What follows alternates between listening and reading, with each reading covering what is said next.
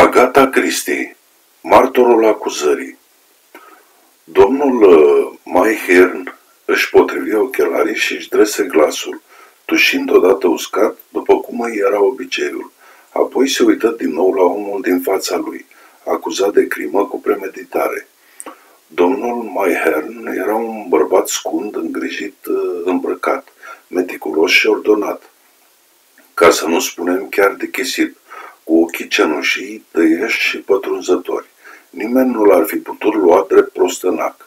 De fapt, domnul Maihern avea de, reputația unui foarte bun avocat.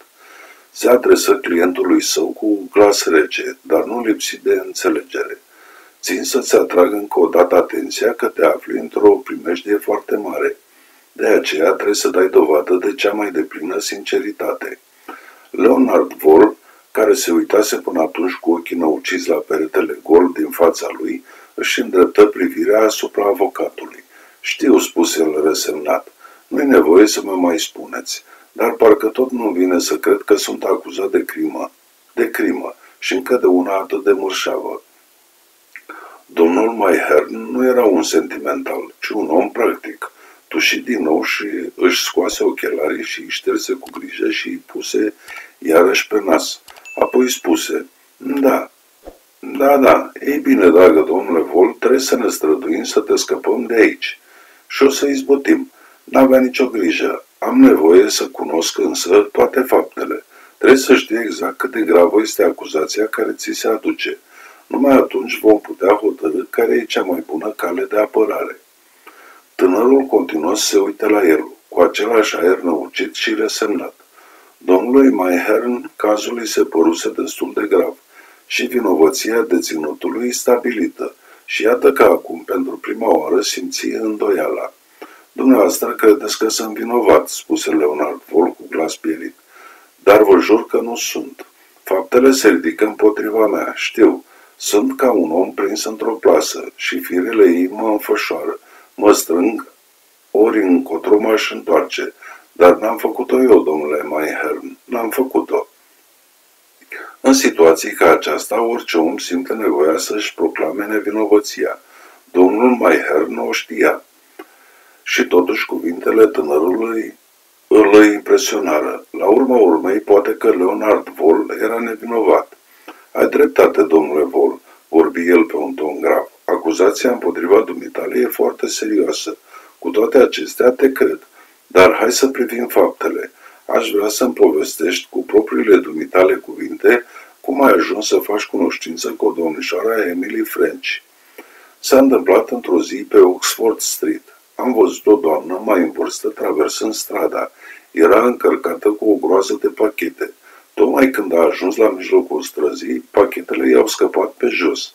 A încercat ea să le adune, dar deodată un autobuz s-a apropiat în viteză și abia a reușit să ajungă pe bordură, înspăimântată și năucită de țipetele mulțimii. I-am adunat în grabă pachetele, le-am cărat de noroi și cât am putut mai bine, le-am legat pe cele care se desfăcură și le-am dat. Nu cumva ei salvat chiar viața? O, în niciun caz. Tot ce am făcut a fost un simplu gest de politețe. S-a arătat extrem de recunoscătoare. Mi-a mulțumit cu căldură și a zis ceva despre purtarea mea care nu e ca a celor mai mulți dintre tinerii de azi.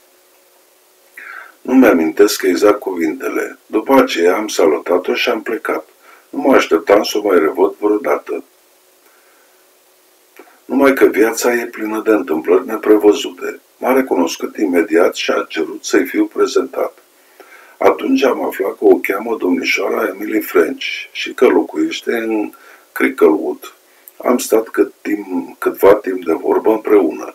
Era, îmi închipui, genul de femeie bătrână care își manifestă simpatii bruște și violente pentru câte cineva.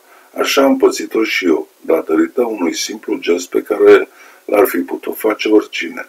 La plecare îmi strânse mâna cu căldură și mă pofti să vin să o văd. Când i-a răspuns că mi-ar face, bineînțeles, multă plăcere, a stăruit să stabilim o dată precisă. Nu prea aveam chef să mă duc, dar ar fi fost o vădărănie să o refuz, așa că a rămas pe sâmbăta următoare. După plecarea domnișoarei French, am aflat de la prietenii mei mai multe amănunte despre ea, și anume că era o femeie bogată, excentrică, trăia singură cu o slujnică și avea numai puțin de opt pisici. Înțeleg, zise domnul Mayhern, problema situației materiale excepționale s-a pus deci atât de devreme, dacă vă închipuiți că m-am interesat, începu Leonard Vol cu aprindere, dar domnul Mayhern îl potoli cu un gest. Datoria mea e să privesc cazul din punctul de vedere al părții adverse. Un observator obișnuit n-ar fi avut de unde să știe că domnișoara French era o femeie bogată. Ducea o viață destul de modestă, aproape sărăcăcioasă. Dacă nu ți s-ar fi spus care e realitatea, ai fi socotit, fără îndoială, că are o situație materială proastă. În orice caz, la început, cine e cel care ți-a spus că are avere? Prietenul meu, George Harvey, în casa căruia am întâlnit-o. Ar fi el în stare să-și aducă aminte că ți-a spus? Vă mărturisesc că nu știu. Vedeți, a trecut ceva timp de atunci. Chiar așa, domnule Vol. Știi, acuzarea va căuta să stabilească, în primul rând, că o duceai tare prost cu finanțele. Și e adevărat, nu? Leonard Vol se roșii tot.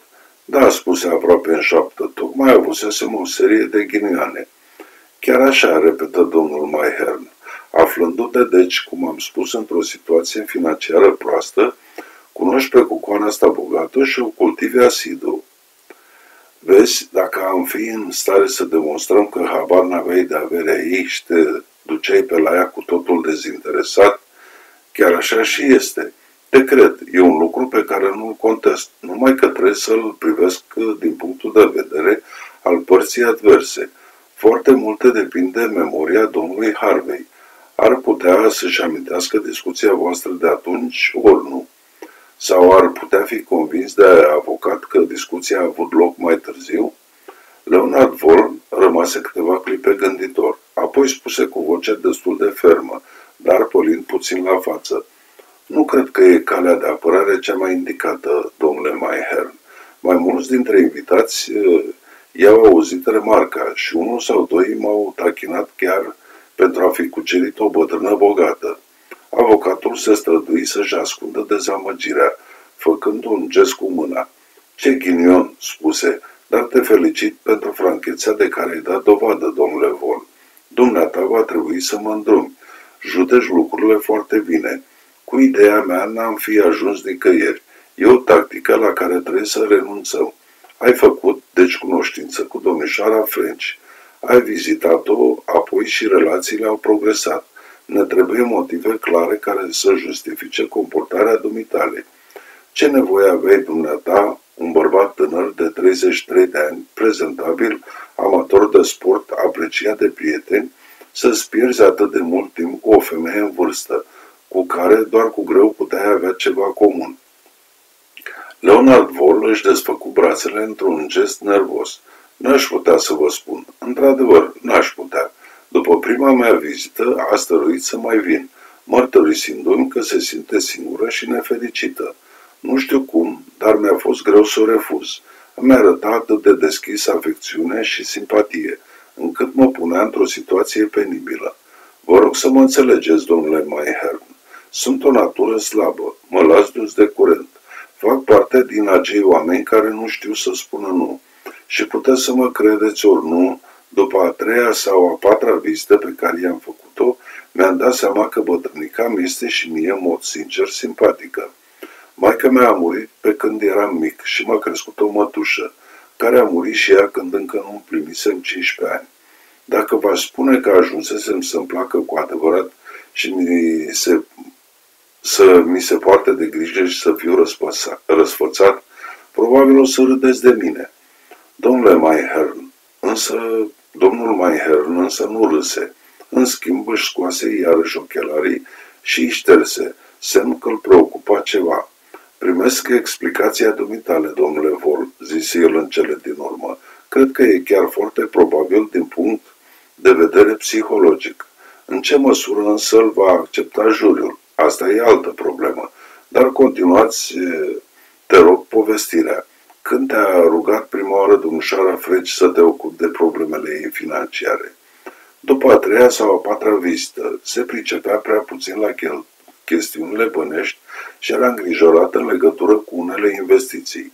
Domnul Mayhern îi aruncă o privire pătrunzătoare. Fii atent, domnule Hall, slujnica Janet McKenzie susține că stăpâna ei se descurca bine în afaceri și își rezolva situa- singură toate treburile, lucru confirmat și de mărturia bancherilor ei. Ce vreți să fac?" spuse vorul stăruitor. Mie așa mi-a spus. Domnul Mayhern îl privi câteva momente în tăcere. Deși n-ar fi vrut să o mărturisească, credința sa în nevinovăția lui Leonard Vol câștiga teren. Știa și el câte ceva despre felul de a fi al femeilor în vârstă. O vedea în gând pe domnișoara French, îndrăgostită de tânărul acesta frumușel, căutând înfrigurată pretexte ca să-l cheme cât mai des pe la ea. Ce era mai ușor decât să o facă pe neștiutoarea în afaceri și să-l roage să o ajute să le descurce. Era o femeie destul de deșteaptă, ca să știe că orice bărbat se simte puțin flatat când îi se recunoaște superioritatea. Leonard Vol s-a simțit flatat și, de asemenea, probabil că nu i-a displăcut să-i arăte tânărului că era bogată. Emily French era o femeie care știa ce vrea și dispusă să plătească prețul cuvenit pentru ceea ce dorea. Toate aceste gânduri îi trecură repede prin minte domnului Mayhern, dar nu lăsă să se întrebadă nimic din ele, ci îi puse o altă întrebare. Și te-ai ocupat de afacerile domnișoarei French eh, la cererea ei? Da, domnule vor, vorbi avocatul, o să spun acum o întrebare foarte serioasă, și anume una la care e important să răspunzi spunându-mi adevărul întreg. O duceai prost cu banii. Ți s-au încredințat afacerile unei femei în vârstă, ale unei femei care, potrivit propriile or, ei afirmații, se pricepea puțin sau chiar deloc în afaceri. Ai încercat vreodată să profiți într-un fel sau altul de banii pe care îi mânuiai? Te-ai angajat pentru folosul dumitale în vreo tranzacție care n-ar putea fi adusă la lumină? Fără să-l lase pe celălalt să vorbească, urmă. Așteaptă o clipă înainte de a răspunde. Avem două căi de ales. Una dintre ele este de a demonstra cinstea și probitatea dumitale în administrarea bunurilor victimei, subliniind că n-ar fi avut niciun rost să o ucizi ca să pui mâna pe banii ei, când puteai să obții cu mijloace infinit mai lesnicioase. Dacă, pe de altă parte, acuzarea va descoperi în conduita dumitale și, să zicem, va dovedi că ai excurcat-o pe bătrână, am putea adopta ca linie de apărare că nu avea niciun motiv să o ucizi, întrucât ea reprezenta o sursă de venituri avantajoase pentru dumneata. Înțelegi deosebirea, așa că îți cer să te gândești bine înainte de a-mi răspunde. Leonard Vol răspunse însă imediat. Atitudinea mea față de afacerile domnișoarei French a fost absolut cinstită și corectă. Mi-am folosit în modul cel mai bun priceperea în interesul ei, după cum ar putea să-și dea seama oricine va examina hârtiile. Mulțumesc, spuse domnul Mayhern. Ceea ce îmi spui mă liniștește. Te felicit că n-ai încercat să mă minți într-o problemă atât de importantă. Bineînțeles că punctul cel mai tare în favoarea mea, vorbi vol cu flăcărare, este lipsa unui motiv. Dacă e adevărat că am cultivat cunoștința acestei femei bătrâne în speranța de a obține bani de la ea, aceasta, presupune, este în esență ceea ce ați spus mai înainte. Atunci este neîndoielnic că moartea ei mi-a spulberat orice nădejde. Avocatul îl privi țintă, apoi, parcă fără să-și dea seama ce face, își scoase și șterse iar ochelarii. Și numai după ce și-i puse din nou pe nas, abia atunci vorbi.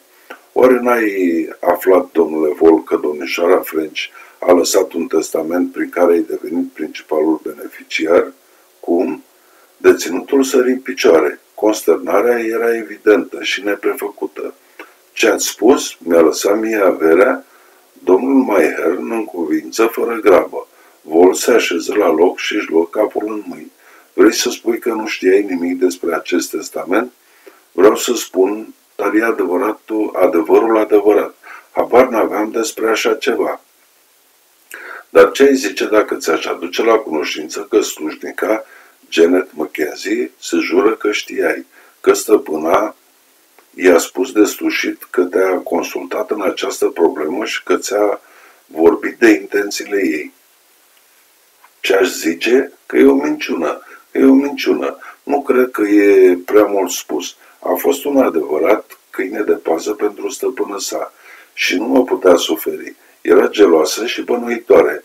Mă gândesc că domnișoara French eu fi împărtășit intențiile ei, iar Janet, fie că a înțeles greșit ce i-a spus, fie că era convinsă în sine ei că am convins-o pe bătrână să nu lase, să nu lase averea.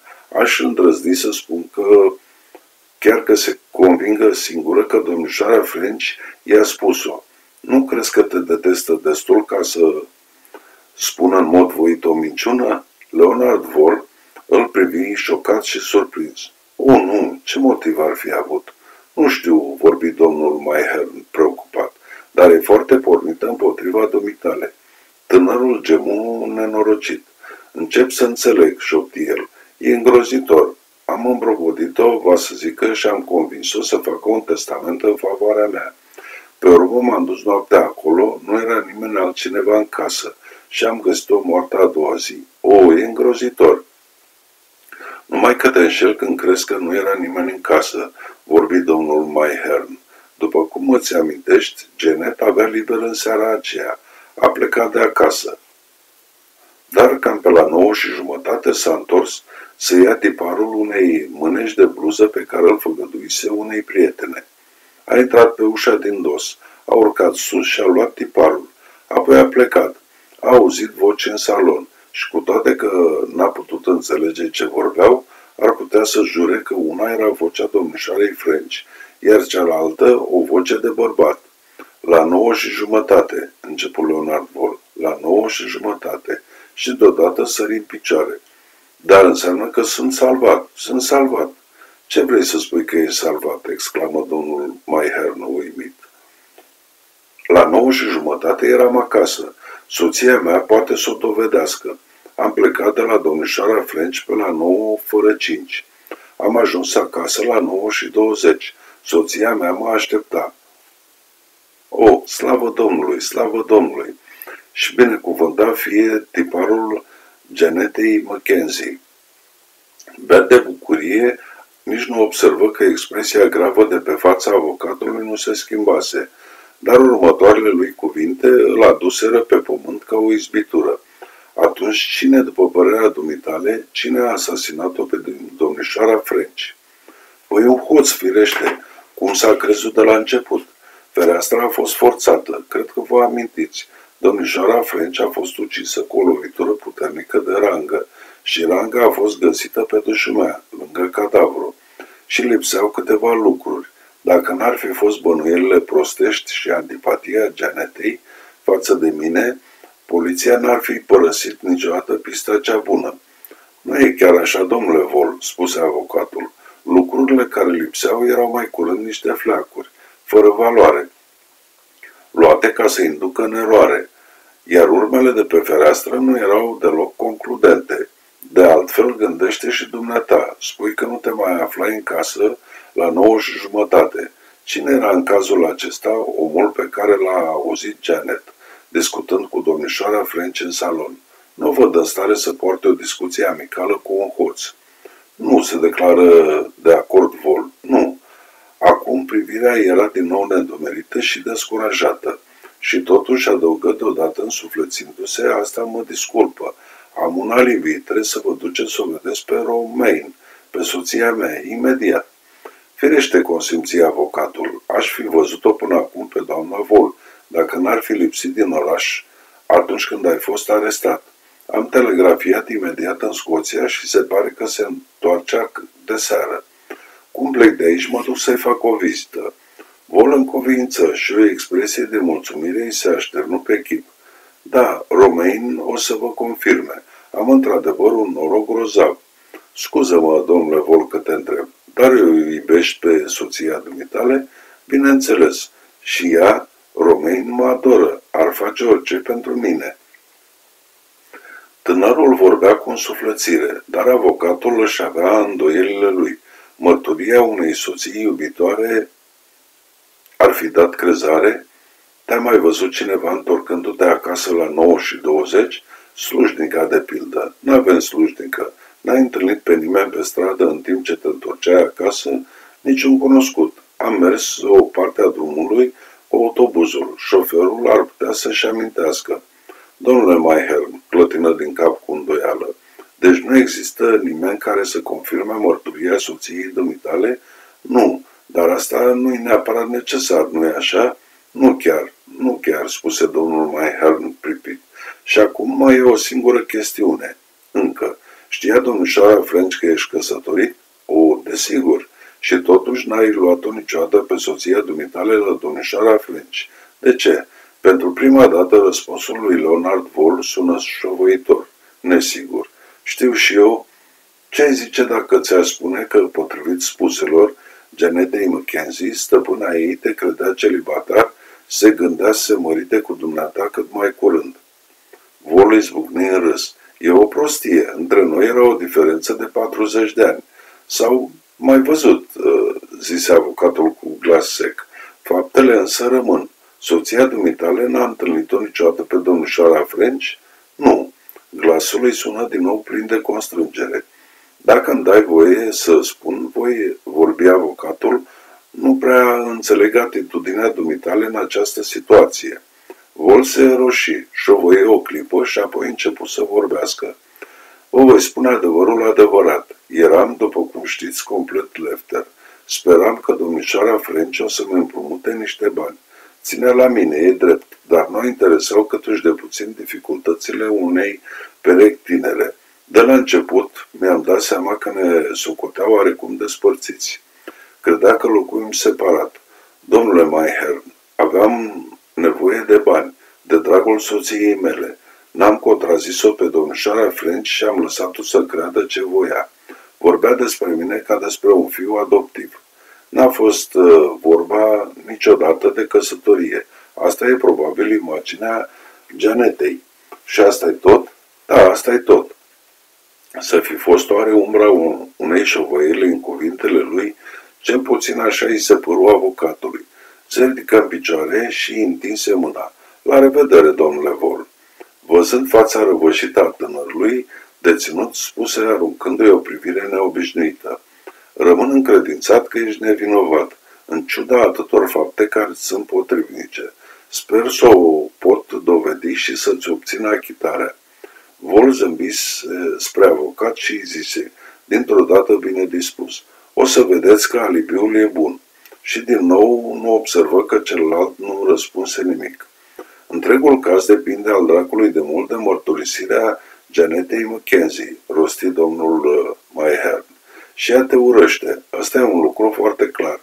Dacă n-are de ce să mă urască, protestă tânărul. Avocatul clătină din cap în timp ce ieșea. Ei, și acum la doamna Vol, își spuse în gând. Se simțea destul de tulburat de felul cum evoluau lucrurile. Familia Vol își avea o locuință lângă Paddington Green, într-o căsuță mică și sărăcăcioasă. Într-acolo se îndrepta în acea zi domnul Mayhern. După ce apăsă pe butonul sonerii, ușa îi fu deschisă de o matahală de femeie, șleampătă, în mod evident o servitoare. Doamna Vol s-a întors, acum un ceas, dar nu știu dacă vă primește. Du-i, te rog, cartea mea de vizită, rosti liniștit domnul Mayhern. Sunt sigur că mă va primi. Femeia se uită la el cu îndoială și șterse mâna de șorț și luă cartea de vizită. Apoi închise ușa în nas, lăsându-l pe trepte afară. După câteva minute însă, se întoarse având acum o atitudine puțin schimbată. Vă rog să intrați. Și îl conduse într-un salon mititel. Domnul Mayhern, care examina un tablou de pe perete, se pomeni deodată față în față cu o femeie înaltă, cu chipul palid, care intrase atât de liniștit încât nici n-auzise. Domnul Mayhern, sunteți avocatul soțului meu, nu-i așa? Ați fost la el? Vreți să luați loc? Înainte de a o fi auzit vorbind, nu-și dăduse seama că nu era englezoică. Acum însă, privind-o mai de aproape, îi văzu pomeți înalți, părul negru al băstului și felul de a-și mișca uneori mâinile, care erau cu totul străine. O femeie ciudată, extrem de calmă, atât de calmă încât te făcea să te simți stânjenit. Chiar de la început, domnul Mayhern fusese conștient că se găsea în fața a ceea ce nu înțelegea. Dragă doamnă Vol, începu el, nu trebuie să-ți pierzi firea. Se opri.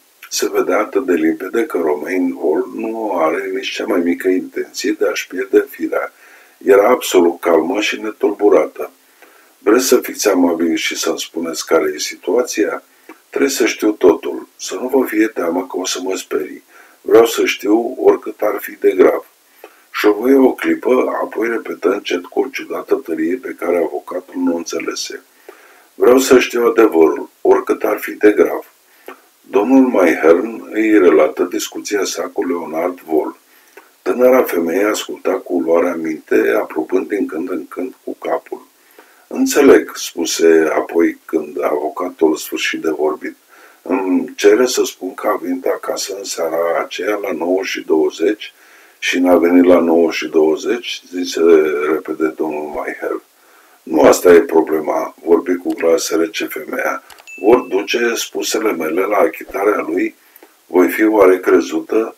Domnul Maihern rămase surprins. Într-o clipă, ea ajunsese în miezul uh, problemei. Asta e ce vreau să știu, urmă doamna Vol. Va fi de ajuns? Mai există cineva care să-mi sprijine mărturia? Era în comportarea ei o insistență stăpânită, care îl făcut să se simtă vag stingherit. Până acum nimeni, răspunse el fără tragere de inimă. Înțeleg, spuse Romain Vol. Câteva clipe nu scoase o vorbă. Un zâmbet vag îi flutura pe buze. Avocatul se simțea din ce în ce mai tulburat. Doamnă Vol, începu el, știu ce trebuie să simți. Oare? întrebă femeia. Nu cred că puteți. În aceste împrejurări, în aceste împrejurări am de gând să procedez după cum voi crede de cuvință. Domnul Maihern se uită la ea consternat. Dar, dragă doamnă Vol, asta întrece puterile dumitale. Și cum ești atât de devotată soțului? Poftim? Asprimea din glasul ei îl făcu să tresară. Nu putut decât să repete, șovăit. Și cum ești atât de devotată soțului, Romain Vol dădu încet din cap și același zâmbet straniu îi juca pe buze. V-a spus el că îi sunt devotată? Îl întrebă domnul. A, da, îmi închipui că v-a spus-o. Cât de proști sunt bărbații. Cât de proști. Proști. Și deodată sări în picioare. Toată tensiunea intensă pe care avocatul o simți în atmosferă se concentrase acum în vocea ei. Îl urăsc, credeți-mă, îl urăsc, îl urăsc, îl urăsc. Aș vrea să-l văd atârnând, spânzurat de gromas până când o să-și dea duhul. Avocatul se dădu înapoi din fața femeii și a pasiunii mocnite din ochii ei, dar ea făcu un pas înainte și urmă cu violență. Poate că am să-l și văd, dar ce-ați zice dacă v-aș mărturisi că noaptea aceea n-a venit acasă la 9 și 20, ci la 10 și 20? Se jură, ziceți, că n-a știut nimic despre banii pe care avea să-i moștenească, dar dacă vă spune că știa despre testament, conta pe banii aceia și a ucis-o ca să pună mâna pe ei, dacă v-aș spune că mi-a mărturisit în noaptea aceea că a ucis-o, că avea sânge pe haine, ce s-ar întâmpla? Dacă aș spune la proces toate lucrurile acestea, ochii păreau să-l provoace. Cu o sforțare, avocatul își înfrână consternarea crescând și încercând să-i vorbească pe un ton rezonabil. Nu poți fi chemat în justiție ca să depui mărturie împotriva soțului dumitale. Apoi, sputind să pară la fel de calm și degajat ca totdeauna, domnul Maihern continuă. Aș vrea să-mi spui un lucru. De ce ești atât de pornit împotriva lui Leonard Vol? Femeia clătină din cap, zâmbind domnul. Da, cred că ați vrea să aflați, dar nu o să vă spun. E taina mea. Domnul Maiher slobozi obișnuita ai tuse ușoară și se ridică. Nu cred că mai are vreun rost să prelungim această întrevedere, remarcă el. O să-ți trimit vorbă după ce voi lua din nou legătura cu clientul meu. Femeia se apropie de el, privindu-l stăruitor, cu ochii frumoși și întunecați. Spuneți-mi, vorbi ea, când ați venit aici, erați convins. în mod sincer că e nevinovat?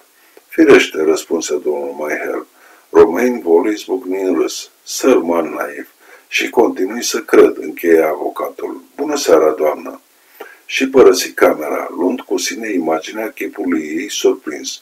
O să fie o afacere al dracului de grea, își spuse domnul Maihern, mergând de-a lungul străzii. Nemaipomenită toată treaba asta și ce femeie ciudată, într-adevăr, foarte periculoasă. Ce diavol de femeie, care bagă cuțitul în tine. Ce era de făcut? Bietul băiat îi fugea pământul de sub picioare. Ce să-i faci? Se poate chiar să o fie omorât. Nu, își zise domnul Maiher în sinea sa. Nu sunt aproape prea multe dovezi împotriva lui. Nu cred pe femeia asta. A născut toată povestea, dar nu o să o spună niciodată la proces. I-ar fi plăcut însă să se simtă mai sigur asupra acestui punct. Desfășurarea anchetei a fost scurtă și dramatică. Principalii martori ai acuzării erau Janet McKenzie, slujnica bătrânei asasinate, și Romain Hilger. Domnul Maiher ședea pe banca apărării și asculta mărturisii. Mărturia acuzatoare a acesteia din urmă. Era în linii mari povestea pe care eu spusese la întrevederea lor.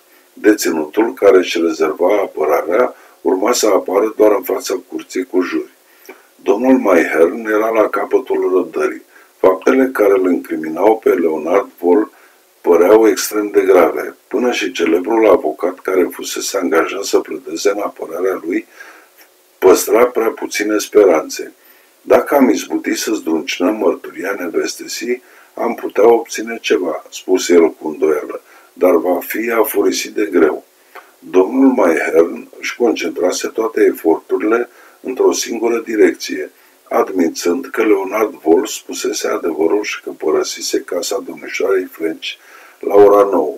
Cine era bărbatul pe care îl auzise Genet vorbind cu stăpâna ei la nouă și jumătate? Singura rază de lumină o reprezenta găsirea unui nepot cam derbedeu, care obținuse pe vremuri sume de bani prin lingușel și amenințări. Janet McKenzie, după cum aflase domnul Maiher, ținuse întotdeauna la băiat și îi susținuse mereu pretențiile pe lângă stăpână sa. Și era foarte posibil ca tocmai acest nepot să fi intrat în casă după plecarea lui Leonard Vol, mai cu seamă că nu era de găsit în niciunul din locurile pe care le frecventa. Toate celelalte cercetări făcute de avocat nu duseseră la niciun rezultat pozitiv. Nimeni nu-l văzuse pe Leonard Vol întorcându-se acasă, ori părăsind locuința domnișoarei French. De asemenea, nimeni nu văzuse vreun alt bărbat intrând sau ieșind din casa de la Cricklewood. Toate investigațiile fusese zadarnice și iată că în ajunul procesului, domnul Maiher primi scrisoarea care avea să îndrepte gândurile într-o direcție cu totul nouă. Scrisoarea sosit după ora șase, un scris de om incult pe o hârtie ordinară, într-un plic murdar cu timbrele lipite strâmb. Domnul Maihern citi de două ori înainte de a izbuti să-i înțeleagă sensul. Stimate domnule, am aflat că ești avocatul angajat în procesul tânărului ăluia. Dacă te interesează să descoperi minciunile care ți le-a turnat târfa aia străină prefăcută, fă drum diseară până în Shaus Rent Stepney, la numărul 16. Nu te coastă decât două sutare. Întreabă de Madame Moxon. Avocatul citea și recitea strania scrisorică. Firește, putea fi o farsă, dar cu cât se gândea mai mult, cu atât se încredința mai tare că era ceva adevărat în ea și că mijea o speranță pentru acuzat. Mărturia depusă de Romain Hilger era zdrobitoare și linia pe care se gândea să o urmeze și anume că depoziția unei femei dovedite că duce o viață imorală nu trebuie crezută. Era în cazul cel mai bun destul de firavă. Domnul Maihern se hotărâ. Era datoria lui să-și salveze clientul cu orice preț. Trebuia să se ducă la Shaus Rents. Ea trebuie câteva clipe să găsească locul, o clădire drăpânată pe o stradă pestilențială, dar până la urmă a găsit-o și întrebând unde stă doamna Moxon, a fost îndrumat spre o cameră de la etajul 3. Acolo bătu la ușă și cum nu primi răspuns, bătu din nou. De data aceasta a auzit dinăuntru un zgomot târșit. Ușa fu crăpată cu grijă cam de un deget și prin spațiul gol îl scrută o siluetă adusă din spate. Deodată femeia, căci era o femeie, chicote scurt și deschise larg ușa. Aha, ai venit, drăguță, vorbia cu o voce șuierătoare. Zic că n-ai mai adus pe nimeni, nu-i așa? Că doar nu o să-mi joci mie vreun renghi. Ei, atunci e bine, poftește înăuntru, poftește. Șovăind puțin, avocatul păși peste prag într-o odăiță mizeră, în care pălpuia lumina chiora unui bec de gaz aerian. Într-un colț se zărea un pat răvășit. Mai era apoi o masă încărcată cu tot felul de boarfe și două scaune șubrede. Și acum putu să o vadă pentru prima dată domnul Maihel pe stăpâna acestei locuințe mizerabilă. Era o femeie de vârstă mijlocie, cu o cârjată cu niște lațe cărunte, căzându-i peste ochi. Iar în jurul capului avea înfășurată strâns o basma care îi acoperea mare parte chipul. Rămase cu ochii arțintiți asupra proaspătului sosit, care o cerceta cu privirea și slobozi iarăși același chicotit ciudat. Te minunezi de ce mi-ascund frumusețea? He, he, he, ți teamă că te duc în ispita, ai, dar trebuie să vezi, trebuie. Și femeia își smulse basmaua. Fără voie, avocatul se dădu un pas înapoi, în fața plăgista cojii care îi se tindea pe față. Trăgându-și basmaua la loc, vorbi. Zi, nu vrei să mă mai săruți, drăguță? He, he, nici nu mă miră. Și când te gândești ce fată frumoasă eram, nu chiar atât de mult de atunci. Vitriol, domnule, vitriol. Asta mi-au făcut. Ah, dar nu o să le dar o să le coc eu. Și izbucni într-un șuvoi de blesteme, pe care domnul Maiher încercă în zadar să-l stăvilească. Până la urmă, femeia se opri și numai mâinile și le încleșta și descleșta într-una, parcă neștiind ce face. Ajunge, spuse avocatul cu aspirime. Am venit aici cu nădejdea că îmi vei da unele informații în favoarea clientului meu, Leonard Vol. E adevărat? Femeia îl privi cu coada ochiului plină de șiretenie. Și banii, domnule, șuierea, două sutare, nu uita. E datoria dumitale să depui mărturie și poți să primești o citație care să te silească să o faci. Asta nu merge, drăguță. Sunt o femeie bătrână care nu știe nimic. Dar dacă îmi dai 200 de lire, poate că o să-mi aduc aminte de câteva lucruri. Pricep? Ce fel de lucruri? Ce ai zice de o scrisoare? O scrisoare de la ea. N-are importanță cum am pus mâna pe scrisoare. E treaba mea. Să știi că e grozavă scrisoarea, dar să văd întâi alea două sutare. Domnul Maihern o privi cu răceală și spuse hotărât. O să-ți dau 10 lire, niciun ban mai mult, și numai dacă scrisoarea este ceea ce zici că e. Zece lire, țipă femeia cu același glas șuierat. Douăzeci, spuse domnul Maihern, și să știi că e ultimul meu cuvânt. Zicând acestea, se ridică să plece. Apoi, cu ochii la femeie, scoase portofelul și numără 21 de lire. Poți să vezi, vorbi el, că e tot ce am la mine, așa că hotărăște, îi iei sau nu. Știa însă că vederea banilor o copleșise. Începu să blesteme, se aplăcă peste pat și scoase ceva de sub santeaua zdrânțuită. Iată-le, mârâia, aia din vârf ție de trebuință. Era un tank de scrisori pe care femeia îl aruncă. Domnul Maihern, după ce îl dezlegă, se apucă să le cerceteze, în felul lui, detașat și metodic. Femeia, pândindu-i nesățioasă mișcările, nu-și putu da seama de nimic, deși îi cerceta chipul impasibil. Le citi de la început până la sfârșit, scrisoare cu scrisoare. Pe urmă o luă din nou pe cea de deasupra teancului și o mai citi odată. Apoi legă cu grijă la loc întregul teanc.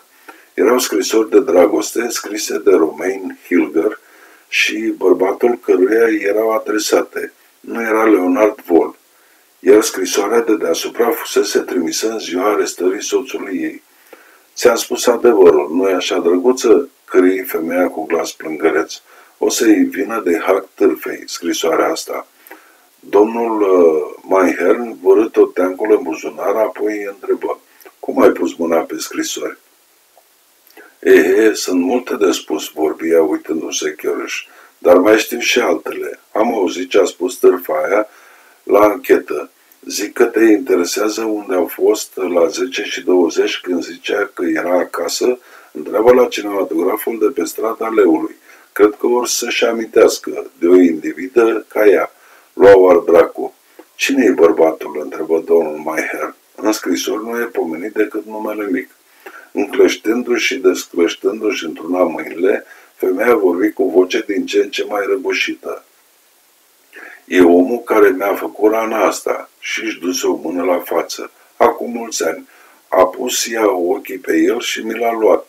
Nu era decât o fâță pe atunci. Și când m-am dus după el și am încercat să-l fac să se întoarcă la mine, mi-a aruncat blestematul cu vitriol în față și ea râdea. O aud și acum, după atâția ani, cum râdea. Dar am urmărit-o, așa am făcut, am spionat-o. Și acum pot să-i o coc. O să se perpelească, nu-i așa, domnule avocat? Orice o să se mai perpelească. S-ar putea să fie condamnată la închisoare pentru mărturis, mărturie uh, mincinoasă. Fără o vorbă, domnul Maihern puse pe masă bancnotele. Apoi, uh, trăgând aer în piept, se întoarse și ieși din mizerabila odaie. Aruncând o ultimă privire înapoi, o văzut pe bătrâna plecată peste bani, îngânând ceva cu voce stinsă. Domnul Maiher nu-și pierdu vremea, găsi destul de ușor cinematograful din strada Leului și arătându-i proprietarului o fotografie a Romeinei Hilger, acesta o recunoscu imediat. Potrivit spuselor lui, în seara aceea a venit la cinema cu un bărbat la puțină vreme după ora 10. Nu-și amintește prea exact cum arăta însoțitorul ei, dar o ținea bine minte pe respectiva doamnă căci își exprimase părerea despre filmul care îl rula. Stătuseră până la sfârșitul filmului cam o oră încă. Domnul Maihern era mulțumit. Mărturia Romeinei Hilger nu era decât o înlănțuire de minciuni. De la început până la sfârșit, născocise totul într-o ură pătimașă. Avocatul se întrebă dacă o să afle vreodată ce se ascunde în spatele acestei uri. Oare ce-i făcuse Leonard Vol soției sale? Omul păruse de-a dreptul uluit când avocatul îi relatase atitudinea ei. Afirmase cu toată vigoarea că lucrul îi se părea de necrezut. Și totuși domnul Maihern avea impresia că după primele clipe de uluială, Protestele lui nu mai sunau prea sincer. Leonard Vol știa. Acum uh, avocatul era convins de asta. Știa, dar nu avea de gând să destăinuiască ce știa.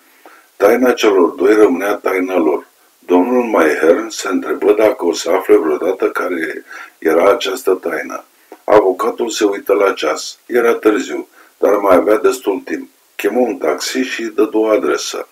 Sir Charles trebuie să afle și el imediat, murmură domnul Maihern pentru sine, în timp ce se urca în taxi. Procesul lui Leonard Vol, acuzat de asasinarea Emiliei French, stârni un larg interes. În primul rând, acuzatul era tânăr și frumușel, apoi era invinit de o crimă extrem de odioasă și mai intervenea și curiozitatea provocată de principalul martor al acuzării, Romain Hilger. Fotografiile ei apăruseră în numeroase ziare, ca și fel de fel de povestiri născocite în legătură cu Burșia și viața ei. Dezbaterile începură destul de calm. Se produseseră mai întâi diferite probe materiale. Apoi fu chemat Janet McKenzie. Repetă în linii mari același lucru ca la anchetă. La câteva întrebări ale apărării, dădu odată sau de două ori răspunsuri contradictorii față de ce spusese înainte în legătură cu relațiile de afaceri între, dintre Vol și domnișoara French. Apărarea stăruia asupra faptului că, deși slujnica auzise în seara aceea o voce de bărbat în salon, nu se putea dovedi că era vorba de Vol și susținu că o mare parte a mărturiei ei se datora unor simțăminte ca gelozia sau antipatia față de acuzat. Apoi fu chemat martorul următor. Numele dumitale este Romain Hilger? Da. Ești cetățean austriacă? Da. În ultimii trei ani ai trăit cu acuzatul dându-te drept soția lui? O clipă doar ochii romeinei Hilger îi căutară pe ai omului din boxa acuzaților. Expresia ei avea ceva straniu, insondabil. Da, întrebările urmau. Vorbă cu vorbă, faptele acuzatoare erau scoase la iveală. În seara aceea, acuzatul luase cu el o randă. Se torsese acasă la 10 și 20 și îi mărturisise că o omoară pe bătrână. Mașetele erau pătate de sânge și le arsese singur în sopa din bucătărie. O silise să păstreze tăcerea prin tot felul de amenințări. Cu cât înainta procesul, cu atât atitudinea jurului, care fusese la început oarecum favorabilă acuzatului, se întorcea categoric împotriva lui. Chiar și el și da cu capul plecat și cu o înfățișare deprimată, ca și cum ar fi știut că e condamnat. S-a putut chiar observa că însuși avocatul Romeinei încerca să-i uh, potolească înverșunarea. Era clar că ar fi preferat ca martoră să fie mai nepărtinitoare. În tine început prin a arăta că spusele ei nu erau decât o născocire răuvoitoare, de la început până la sfârșit. Că nu ei fusese acasă la ora aceea, că avea legături amoroase cu un alt bărbat și că urmărise cu bună știință să-l trimită pe vol la moarte pentru o crimă pe care acesta nu o săvârșise. Toate aceste afirmații, Romain le tăgădui cu o superbă nepăsare și atunci a avut loc deznodământul neprevăzut. Avocatul uh, prezentă curții scrisoarea. Fu citită cu glas tare într-o liniște de plină. Max, iubitule, soarta ni l-a dat pe mână. A fost arestat pentru crimă. Da, da, pentru a fi asasinat o bătrână. Leonard, care n-atinge o muscă. În fine, o să mă răzbun. Bietul puișor. O să spun că în seara aceea a venit plin de sânge și că mi-a mărturisit tot. O să fac să fie spânzurat. Max. Și când or să-l spânzure, o să știe și o să înțeleagă că Romain l-a trimis la moarte. Și atunci fericirea, iubitule, în sfârșit fericirea. Erau de față și experți care ar fi fost gata să jure că scrisul era al Românei Hilger, dar n-a fost nevoie de ei. Confruntată cu scrisoarea, Romain se prăbuși complet și mărturisi tot. Leonard Vol se întorsese acasă la ora pe care o declarase el, 9 și 20. Născocise toată povestea ca să-l distrugă. Odată cu demascarea Rominei uh, Hilger, nici pachetul nu și-a mai, parchetul nu și-a mai menținut acuzarea. Sir Charles chemă pe câțiva dintre martorii săi. Apoi însuși acuzatul veni la bară și își făcu depoziția, simplu bărbătește fără să se lase tulburat de întrebări. Acuzarea încercă să câștige teren, dar fără succes. Concluziile judecătorului n-au fost într totul favorabile acuzatului, dar se produse o reacție și juraților nu le-a trebuit decât puțină vreme ca să dea verdictul. Nu este vinovat. Leonard Vol era liber. Micuțul domn Maihern se grăbi să se scoale. Trebuia să-și felicite clientul. Se pomeni că șterge ochelarii și deodată se opri. Chiar cu o seară înainte, soția lui îi spusese că își făcuse un tic din asta. Ciudat lucru, ticurile. Oamenii nu știu niciodată că le au. A fost un caz interesant, foarte interesant. Și femeia asta, Romain Hilger, da, pentru el cazul a fost dominat de personalitatea stranie a acestei Romain Hilger – Acolo, acasă la ea, în Paddington, ea păruse ca o femeie palidă, liniștită, dar la proces se desprinsese pe fondul acela sever, strălucind ca o floare de la tropice. Dacă închidea puțin ochii, putea să o vadă iarăși, înaltă și impetuoasă, cu silueta ei frumoasă, înclinată puțin înainte, încleștându-și și descleștându-și într-una mâna dreaptă într-un gest inconștient. Ciudat lucru, ticurile, Gestul acesta al încleștării și descleștării mâinii era un tic, își zise avocatul. Parcă mai văzuse nu de mult pe cineva făcând același gest. Oare pe cine? Nu de mult. Și deodată răsufla adânc. Își amintise femeia din Shaun's Rents. Simțea că tot capul îi se învârtește. Era cu neputință. Cu neputință. Și totuși Romain Hilger era o actriță. Procurorul îl ajunse din urmă și îl bătut pe umăr. L-ai felicitat pe omul nostru, a avut un noroc chiar, nu crezi? Hai să mergem până la el. Dar micuțul avocat îi dădu mâna la o parte. Nu dorea decât un lucru. Să o vadă încă o dată de aproape pe Romain Hilger. Mai trecu însă vreme până să o vadă și locul întâlnirilor nu are importanță. Așadar, v-ați dat seama, spuse ea după ce avocatul îi povesti la ce concluzie ajunsese. Fața. O, oh, a fost destul de ușor și lumina gazului aerian era prea slabă ca să distingeți machiajul. Dar de ce? De ce? De ce am procedat așa? Cum am crezut eu de cuvință, femeia zâmbi ușor, amintindu-și clipa când rostise ultima dată aceste cuvinte. O comedie atât de bine jucată. Trebuia să-l salvez cu orice preț. Mărturia unei soții devotate nu făcea două parale. Mi-ați spus-o chiar dumneavoastră. Dar mă pricep puțin la psihologia oamenilor. Să las uh, ca mărturia să-mi fie smulsă cu forța, ca o recunoaștere, acuzându-mă în ochii justiției. Și atunci se produce imediat o reacție în favoarea acuzatului. Și teancul de scrisori, una singură, cea mai importantă, ar fi putut să pară un fel de cum se spune în scenare. Înseamnă că omul acela, Max, n-a existat niciodată. Totuși, cred, spuse micuțul domn Maher, adoptând un ton jignit, că l-am fi putut scăpa prin procedee normale. Nu puteam îndrăzni să risc. Dumneavoastră, da, erați convins de nevinovăția lui.